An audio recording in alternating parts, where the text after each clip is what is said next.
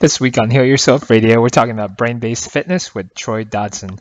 Troy is a personal trainer that focuses on functional neurology, and he uses these functional neurological methods to help people improve their performance, resist injury, recover from injury, and he really has a unique background with a wide variety of uh, topics in fitness and how the brain involve, is involved with the overall concept of fitness. After the success of the Matt Antonucci interview, you should go check that out about brain hacking, um, PRs for CrossFit. Um, I think you'll really enjoy what Troy is going to be talking about here today. As always, if you're enjoying what you're hearing, check out healyourselfradio.com for the show notes, and you'll find links to the, all the resources that we talk about on the show. And you can also sign up for our newsletter. And additionally, if you are really enjoying the show and you like what we're doing, uh, we love getting feedback on iTunes. So if you write us a review on iTunes, we read all of them and they really help us make the show better. So if you like what we're doing, go check out iTunes and give us a nice little review. Uh, without further ado, enjoy this interview with Troy Dodson.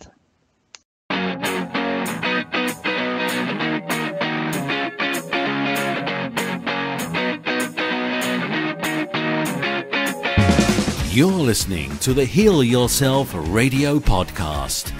Unleash the Doctor Within with your hosts, Dr. Jonathan Chung and Dr. Gregory Jean Pierre.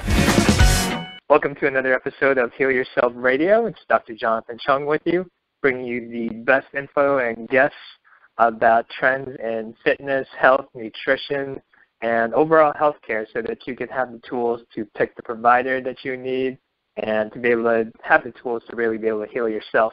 Today I have a guest with me. His name is Troy Dodson of Brain Based Fitness. Uh, Troy has a really unique approach to fitness and that he sees it as beyond something working on, beyond just working on muscles and getting your heart rate better, but he sees it as an approach to improve brain function and improving overall health through your brain function. And um, I'm excited to pick his brain and learn a little bit more about what you're doing. Welcome to the show, Troy. Thanks, Sean. I appreciate it. So why don't you give us a little bit of an overview of what it means uh, to look at fitness from a brain-based perspective? Yeah. So um, the way I see it, um, the the brain is the ultimate target of all exercise. Um, exercise essentially, you know, no matter what type of exercise you're performing, is essentially all movement based. Uh, movement is a core component of any exercise, and uh, movement is entirely controlled by the brain. Uh, some of it is voluntary movement, so that's initiated, controlled by the, you know, like the frontal cortex, and other movements are more um, reflexively controlled. So, like, for instance, if you're going to press a dumbbell overhead with one arm, that would be the voluntary movement side, and then the other side has to you know, create enough stability and posture alignment in order to have a stable platform to press the weight from. Otherwise, you would basically lose balance or not be able to move it in the direction you want to move it. So it's pretty interesting to look at it through that lens, and um, and then look for opportunities to help improve, you know, both uh, movement, balance, and stabilization and posture, um, which is going to create a better outcome in terms of better movement, and therefore better, you know, workouts. Awesome. And how did you come on to this idea? What drove you down this path to uh, making your training practice more so brain based? Well, um, it started when I, um, I I started one of the early CrossFit gyms, affiliate gyms, back in 2005. And prior to that, I'd had some experiences um, with doing some, you know, quote unquote like nervous system hacks that that made some functional improvements for myself. It wasn't anything spectacular, just you know, some strength-based stuff.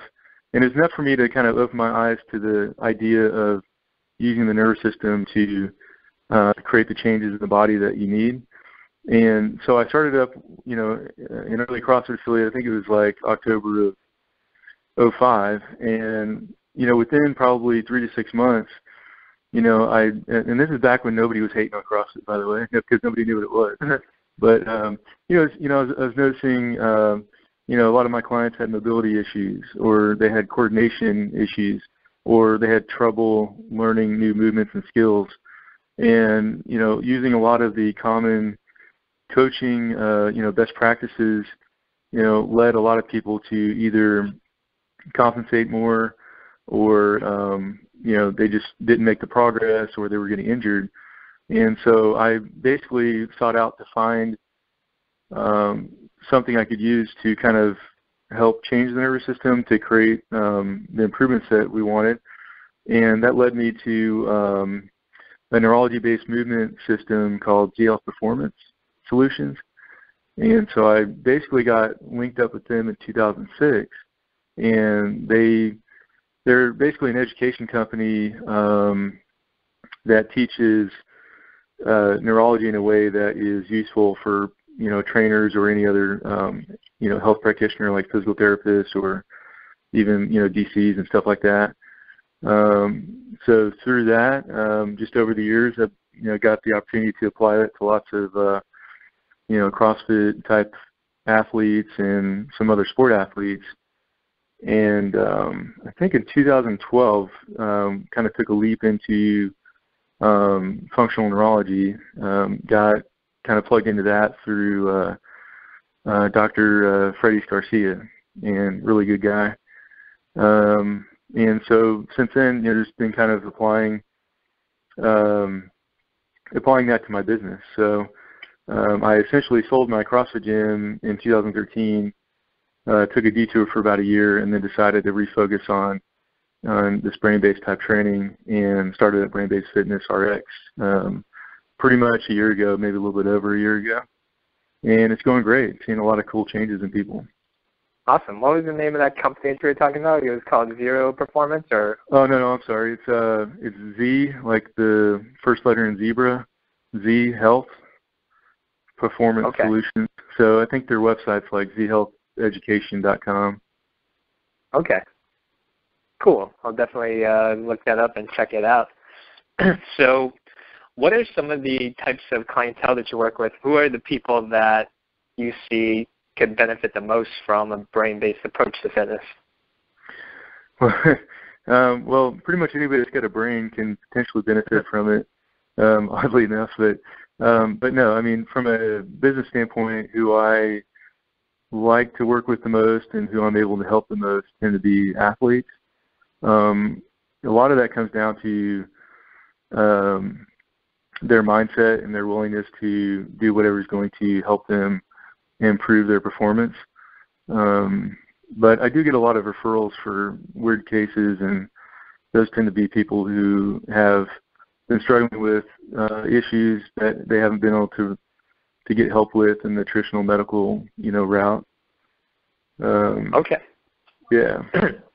That's really interesting. Um, do you have any um, interesting case studies you'd like to share? Because I saw some of the stuff that you've posted on your uh, Facebook page and your website where you know you have athletes that are gaining like an inch on their vertical leap and um, you're taking all these quantifiable things and seeing some pretty remarkable changes on it. Yeah, actually, uh, on that on that note, I recently worked with a volleyball athlete, and keep in mind this is a young athlete who has quite a bit of uh, postural and movement limitations. Um, so it's not like I'm talking about a pro athlete that's already at a high level. Um, but in, in a uh, two-week time span, I think we had a total of seven training sessions, um, and she had a six-inch increase in her vertical jump during that time. Six-inch increase. That is incredible. Well, what's what makes it more incredible actually is um, see she was driving uh, her mom was driving her a couple hours each direction to come do these training sessions, and uh, and what was really interesting about it was um, I completely spaced out and forgot that her last day was her last day, and uh, so I, I was basically doing a combination of some uh, you know neurological training, uh, vision vestibular, um, some mobility stuff, that kind of stuff with her, and we would do that in the beginning, and then we would finish up with like a 30 minute workout that was kind of geared towards vertical jump type stuff. And um and so we were actually in the middle of the workout when I remembered that, oh yeah, today's your last day and we were supposed to check your vertical jump, you know, actually test it. And I'd forgotten to. So I said, Hey, why don't you go and jump off that? You know, she was using this uh we you know, we use a um man, what's that thing called? It's a it's called an MVP. It's like an MVP shuttle. I don't remember what it stands for, but it's basically a way to train vertical jumps uh, where you can load it, and it's kind of like on a horizontal platform that you lay down on, and uh, you can do squats and you can do jumps on that, and you, you can use these resistance bands to basically adjust it, and it allows you to kind of uh, see the movement errors a little bit easier because of the position they're in, and they can also feel, um, and they can also look at it themselves where you point out, you know, hey, your knee's falling in, and you know that kind of thing. It's just it's a useful training tool that I found. And so she was on that, and I had her jump off, and we went and set up the uh, Vertec and and tested her uh, vertical jump, and she gained six inches. You know, this is mid workout, so uh, there's no telling what it what it could have been if we um, had had tried it out fresh. You know. Okay. So was there anything that when you first stumbled upon this, was there anything you had going on for yourself that this made a big difference for you? Like how did it change your life in any meaningful way?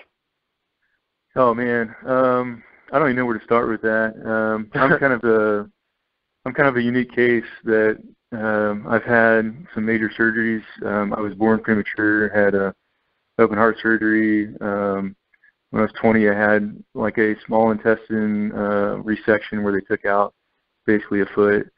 Um, you know, had had some crazy injuries and stuff, some head injuries, and and so yeah, I mean, basically, I I uh, was one of those guys that you know doing CrossFit early on, when my stress levels were low and my body function was good, I was able to um, handle it really well and recover well and and and, and make very good progress um, uh, doing CrossFit and uh, always handled it well.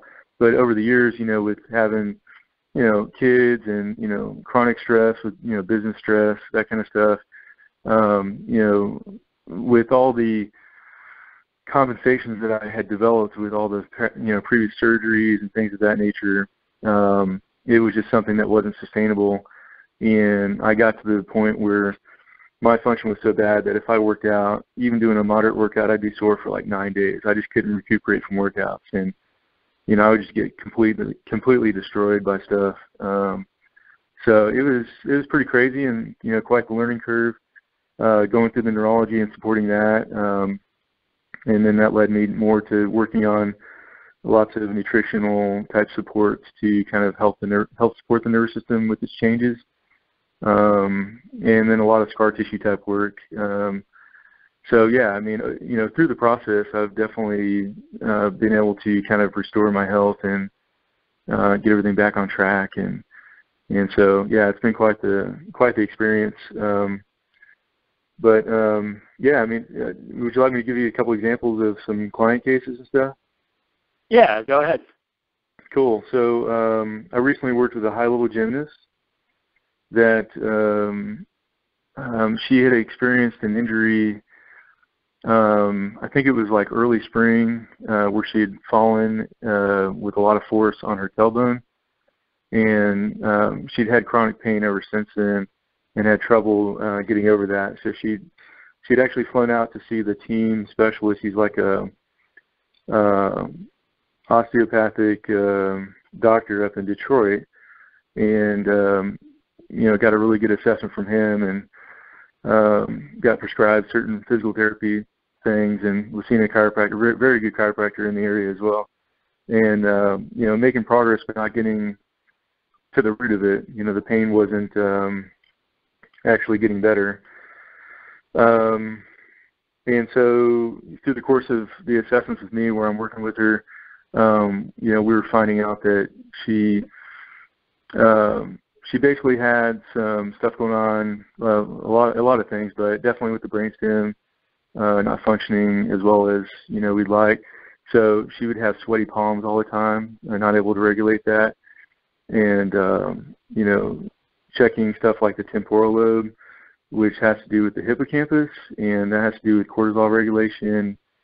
You know, all those systems that are going to help control the perspiration and things like that. Um, it was fairly interesting because, you know, just having her count down from 100, um, she wasn't even able to do that. She'd get to like 93 and get stuck. Um, so we start looking at temporal a little more. I give her a series of numbers to repeat back to me, kind of like a phone number. Um, and you know if you say it with like rhythm and tone changes, she could uh, repeat it back to me no problem because that's kind of using more of like the right side. And then you know if we do it like in a monotone voice, she would literally uh, screw up four out of the seven numbers and you know really choke trying to get the numbers out. And uh and so you know we moved from that on to like basic math problems. You know here she is she's like 14 and really smart and um you know definitely good at math. And you know I started having her go through like these addition flashcards where it's like three plus four equals what you know that kind of stuff and she's flipping through as quick as she can and thinking the answer to herself and she literally got about five cards into it at a quick pace and started getting slower. And about three cards later, she got stuck on a card and couldn't go on for about 20, 30 seconds. And she said, I just don't know what to do. I'm stuck. so it was really interesting to see these high level brain systems that were just completely fatiguing out on her. And it, it turned out that there was a huge nutrition component that we had overlooked.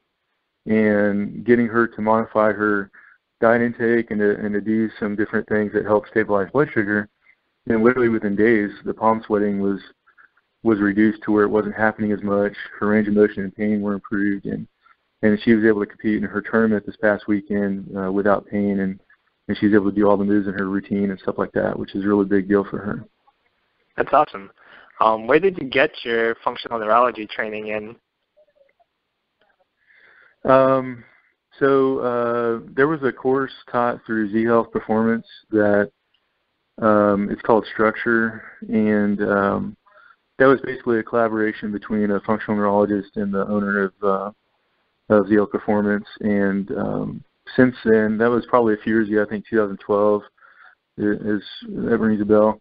Um, since then, Dr. Cobb, the guy that owns Z Health, he's uh, one of his strengths in life, in my opinion, is the ability to take stuff that's extremely complex and hard to learn and simplify it and make it a lot more useful in the process. And um, so, you know, each consecutive year, I've basically gone back to the same course, but it's been a basically like a, a completely different course each time because of the way that they have refined it.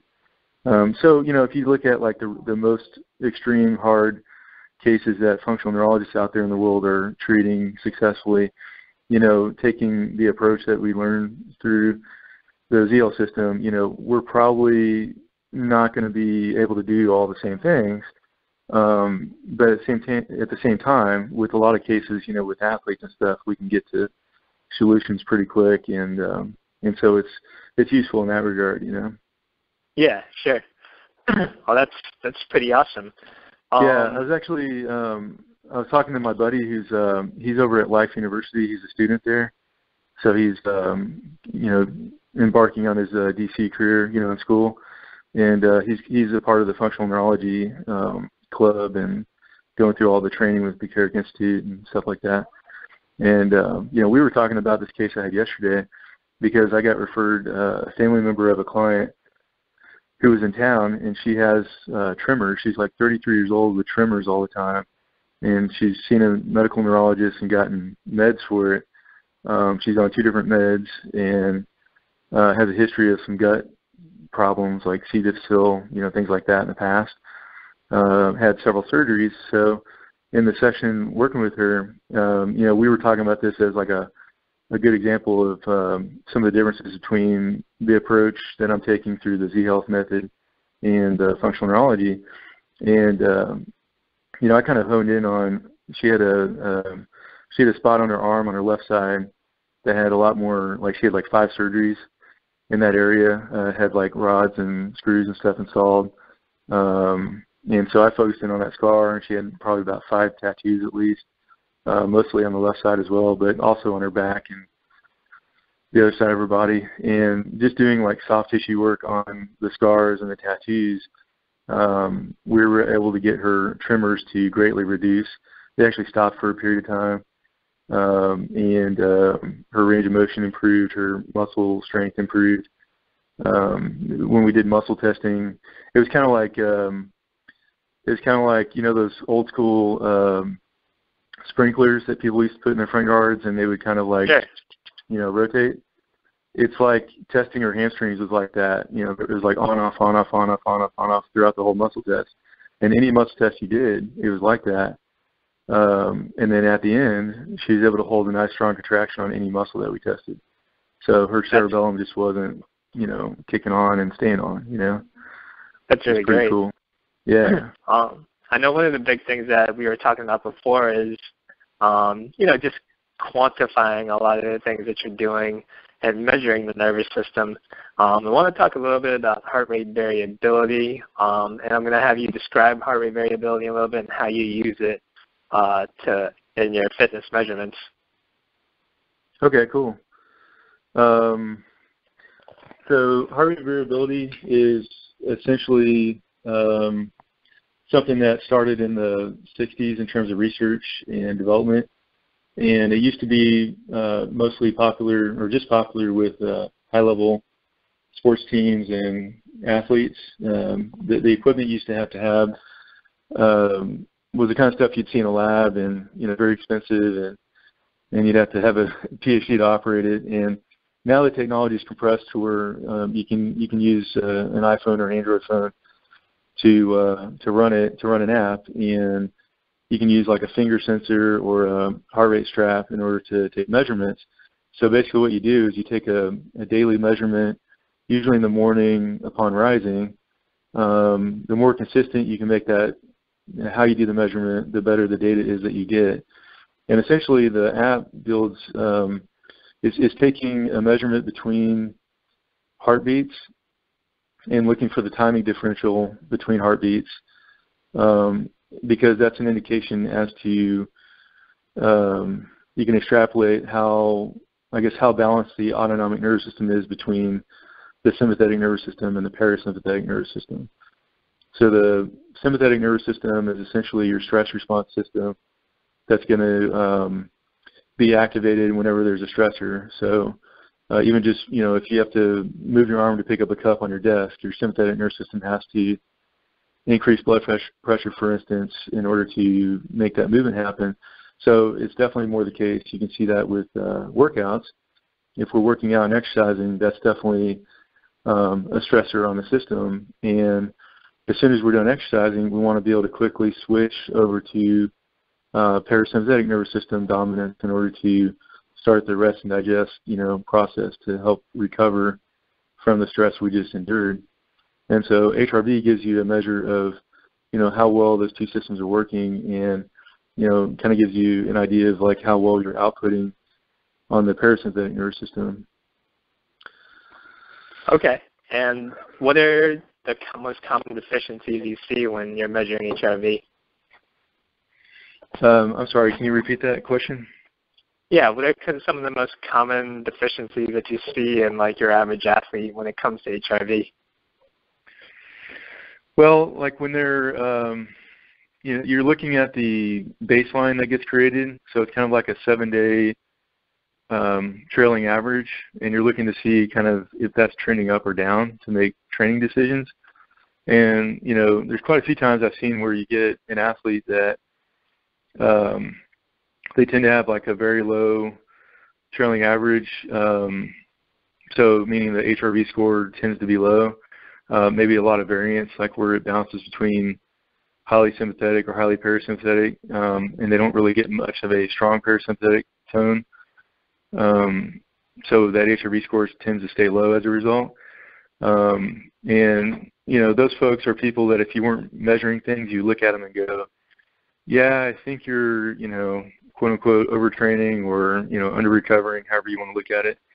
Um, you should probably, you know, rest some more and and maybe do less work, you know, things of that nature. Um, the one of the benefits I've seen is being able to give objective data to that kind of scenario, because as a coach, you know, you have those clients that sometimes they're re- really stubborn and they kind of have their own ideas on how things should be, and harder is better, and harder is like the only way forward for them, kind of thing. And so, that in a way, you know, since adaptation only occurs if you can recover from the stress, or your body can adequately respond to the stress.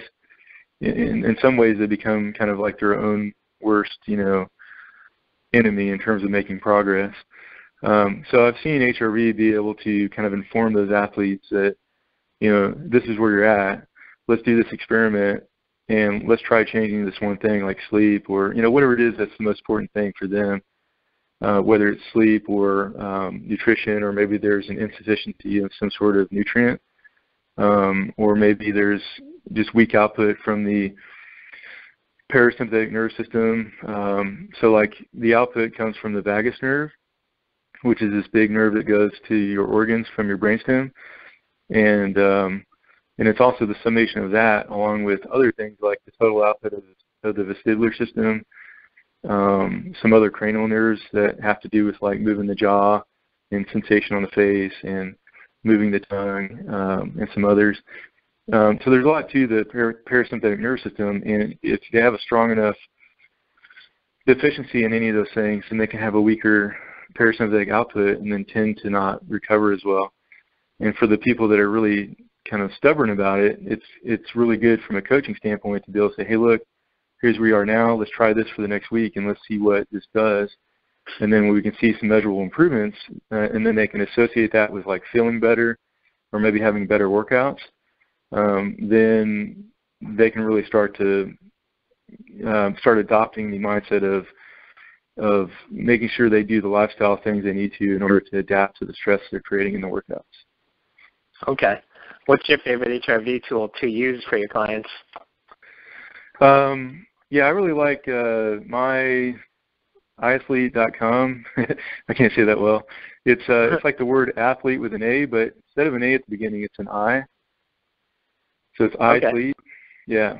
Uh, so my ithlete.com. That is uh, a pretty good system. Um, they've had research. I think um, I think there's a, a PhD a PhD student. Um, his name is Andrew Flatt. He he's uh, done a lot of work to validate their system, um, and also has done a lot of work with like associating improvements in the HRV baseline with improvements made in performance and fitness for uh, team sports like soccer and other sports. Okay. Um, and he um, he's got a lot of good info on the web. Um, his uh, let's see here, his blog. I think it's like hrvtraining.com. And if he's already a PhD, if he's gotten that already, I apologize. I just didn't know. okay. Yeah, I'm actually pulling up the website right now, so I'll attach that into the show notes for anyone that's interested in looking that up. Okay. Um, do you have any specific types of programming that you recommend for people for you know what's a good general baseline type of programming for someone who's looking to um, just enhance their brain function and may have a positive impact on something like HRV. Okay. Um, yeah, with, with when it comes to the nervous system, everybody's individual in terms of what needs they have. Um, the the way I like to look at it is um, what are the things that people tend to not do. Um, those are most likely going to be beneficial. So if you look at from a workout standpoint, everybody going to the gym, they're thinking about what muscles do I need to work. Um, and then you have people that, that, in my opinion, are a little bit more evolved when they're thinking more in terms of what movements do I need to work. So then they're training movements and skills. I think that's great. Um, going beyond that, you can start looking at what uh, what other system systems am I not training so, for instance, um, you know, the, the most common uh, muscles in the body that are not worked or not trained are the eye muscles. Um, so the eye muscles are six different eye mus- extraocular muscles that move the eyes. Um, all those provide a lot of valuable uh, proprioceptive information into the nervous system. Um, just the visual movements themselves stimulate different brain structures like the cerebellum and and uh, brainstem and whatnot. Um, so, uh, so I think vision training is huge for most people because most people are not doing it. Uh, the most basic skill that anybody can train from a visual standpoint is to identify something that is small that they can focus on. So think about drawing a dot on the center of a paper. It could be like a letter on a business card or anything else in your environment. And just practice focusing on it. You should be able to keep your eyes on it without your without it going out of focus or without your eyes shifting or moving. Um, once you know you've got that, then you can start working your eye movements in different positions. So bringing an object close to you, like you know, bring it in towards your nose and push it out away from your nose, and, and, and kind of training the eyes to work together to track an object. Also, maybe drawing circles or boxes in different parts of the visual field. So you can think about the four quadrants. You got upper right, left, you know, upper left, down left, down right, and um, doing movements in each of those, as well as movements that go in all of those. Um, so vision is good. Um, there's a lot more stuff to train than just what I mentioned. Um, in terms of other training, you know, um, checking the, uh, the the vestibular system, so you can you can uh, you can do different tests on yourself where you uh, check range of motion or check your balance, and then go into different head positions and see um, how that impacts you. So, for instance, um, uh, see like one example of what you could do. Um, I'm trying to break this down in my head to make this a little bit more concise for everybody. So um, when we turn our head to the right, and we're activating the um, the one of the horizontal canals on the right side, and um, just a head movement to the right should make rotation to the right easier in general. So if you think about rotating with your arms, your right arm would be going into extension, right? So your right yeah. arm is going back, and then your left arm would be going into flexion. So if I'm going to turn right, that's basically the movements my arms are going to make. So you can essentially check a head position with that knowledge, and you can say, okay, um, I'm going to check my shoulder extension on the right side and my sh- shoulder flexion on the left side. And then uh, if I turn my head right, it should make it easier. Um, so I should have more range of motion possibly where it feels easier and then you can go and check that and make sure that's the case. Um, if it tests bad, like it gets worse, then that might mean that that side isn't working as well from a vestibular standpoint. Just a little simple thing you can try. Okay, awesome. Well, we're gonna ask you some um, some uh, rapid fire questions now, so you could uh, address some things on what you do for your own health. Um, what's something that you do for your health that you think not enough people know about and understand? Hmm. Um, wow, that is rapid fire. um, let's see, because uh, there's so many different things. I'm, I'm trying to pick out something that's been really impactful. Um, I think that people might understand this, but they still don't do it um, and that's uh, working on breathing. Um, so breathing is a good way to to uh, you know get the diaphragm moving, which um, is important to get the organs moving, to get the ribs moving. All that provides a lot of good stimulus up to the brain. It also kind of puts you more in that parasympathetic nervous state of rest and digest. So it's a good thing to do post workout. Um, and if you're a high stress person, maybe pre workout. Um, but yeah, you know, there's a thing that uh, it was on the ZLF blog recently um, called the uh, Expandalung, and it's like one of those training devices that you can modulate the restriction uh, that's put on breathing in and breathing out through this device. And that has been really cool working using that with some of my athletes and also myself with being able to feel um, the stress that's put on the diaphragm and getting the diaphragm working because sometimes that gets restricted and that's one of the things that, you know, I had the opportunity to help out with uh, uh, a team of volleyball athletes. I mean, it was actually probably about 30 athletes total. And uh, I put them all through a abdominal strength assessment.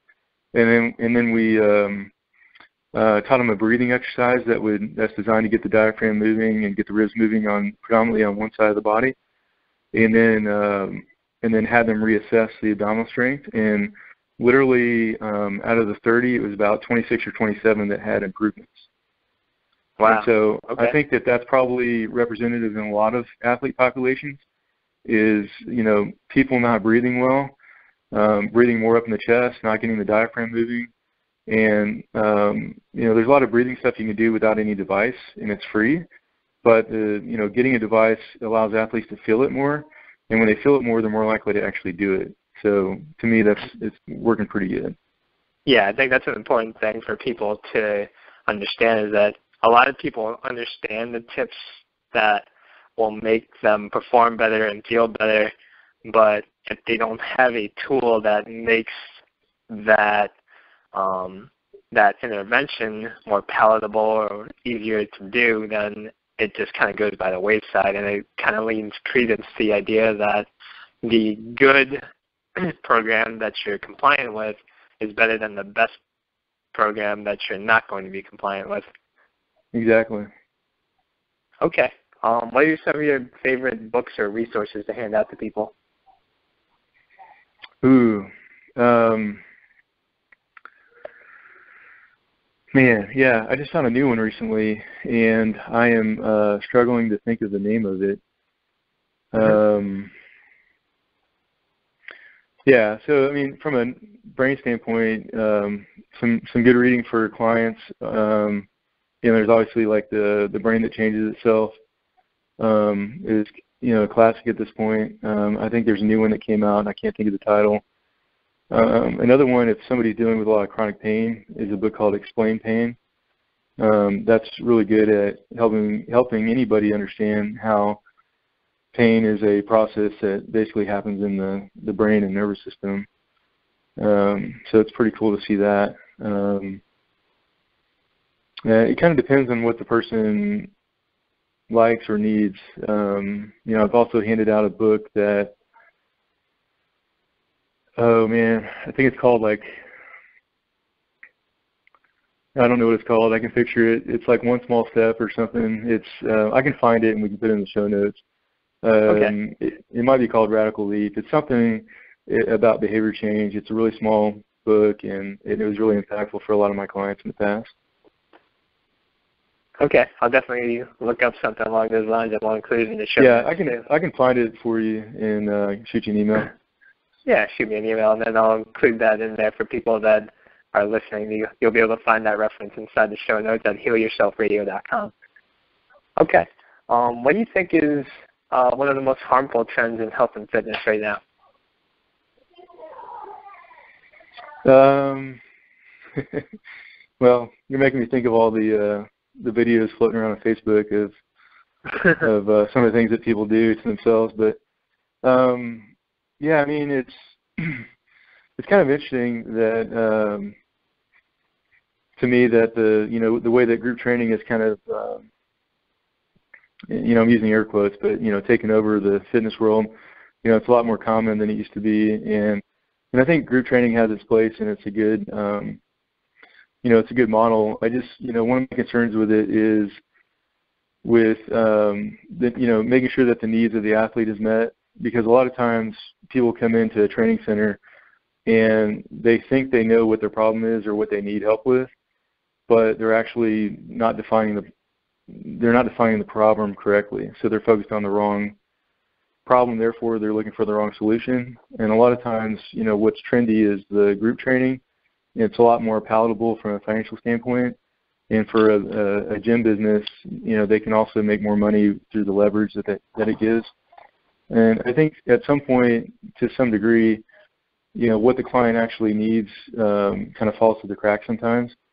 So I, I think that there still needs to be an element of individual training, um, whether that is people getting a lot of individualized training within a group setting, or maybe a lot of individual training preceding group group training, um, you know, or just sticking with one-on-one. Um, so I think a lot gets missed whenever you start diverting your your focus away from a lot of these nuanced type things that I'm able to check for and find and help with in um, in these one-on-one sessions that I'm doing. Uh, you know, when you stop and think about, you know, what is this 14-year-old gymnast, you know, what's her life going to be like if nobody is checking for her temporal lobe function and therefore nobody's doing anything about it, you know, what's her gymnast career going to be like and then what's life beyond gymnastics going to look like? And it starts looking kind of stark. It's like, man, that's that could go really bad, you know. so yeah, for sure. Yeah. okay. Um, do you have any uh, leanings as far as supplements go? Um, yeah, I mean, it's there's a lot of good stuff out there, but there's a lot more that's that's uh, kind of a disaster waiting to happen. Um, I guess this kind of falls into your other question about trends. Um, you know, there's no accountability or um, supervision, you know, except for what the company does for itself, unless they hire like a third party. What is it, what is it called? The GMP, you know, the quality testing that they do. Um, yeah. That's paid for. So, you know, so there's a lot of landmines out there. Um, I've had a lot of clients that were on, you know, stuff like muscle milk, and, and you, you see like consumer labs come out with their reports about the mercury and other things that they found in it, and it's just like, whoa, you know. So I think um, for me, like what I've kind of turned more to to is uh, is uh, one of the things I do is functional diagnostic nutrition. So I'm also doing some testing there. Um, so I'm a little bit more of a big uh, a fan of of actually looking at the whole system and seeing what the needs are, and then supplementing after we've gotten some changes with uh, food intake and and, and, stuff like that. Um, I don't want to turn to nutrition uh, nutritional supplements first because um, I think it should be supplemental. And then I think that um, the more testing you can do to kind of uh, be able to see that something is changing, I think that helps out a lot. Um, because otherwise, you know, you you just become like a supplement salesman. You just sell people supplements, and they, you know, they're looking for something to buy into emotionally. And a lot of times people will will do that. So when I had my gym, I had clients that you know I found out were spending they couldn't afford paying the gym anymore, but they were spending 150, 160 a month on supplements. And you know, once I got them to stop taking as much um, and get more focused on nutrition, uh, meaning uh, the food that they eat, and how they eat it, um, they would actually break through their plateaus and, and make a lot more improvements as a result.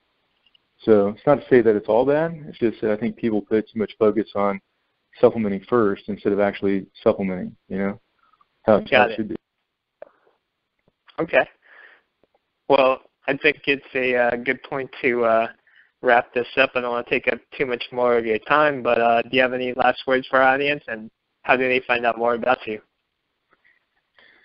Yeah. So um, anybody's got any questions or um, wants to continue the discussion or connect with me, you can do that on Facebook. Um, so it's facebook.com forward slash um, Troy Dodson. And then my website is uh, brainbasedfitnessrx.com. Um, got a blog on there. Um, it's slowly starting to get more stuff on it. Uh, work in progress. Um, in terms of, um, I've got some notes here. I'm looking at resources. So I already gave you the myithlete.com. Um, that's a pretty good one. And then um, yeah, that's about it really. So um, there's also another thing for people that are interested in longevity. There's a thing called the Palo Alto Prize. Um, so it's paloaltoprize.com, and it's kind of cool because they're using HRV as their biomarker for homeostatic capacity, um, and they're using that within the context of like uh, longevity research and things like that. Um, so that's something that they can go and check out if they're interested in that. All right, awesome. Well, thanks for coming on the show, Troy. I really appreciate the information and some of the uh, the science behind using fitness to uh, make your brain better. Yeah, cool. I appreciate it. I, I love being on the show. Appreciate you inviting awesome. me. No problem.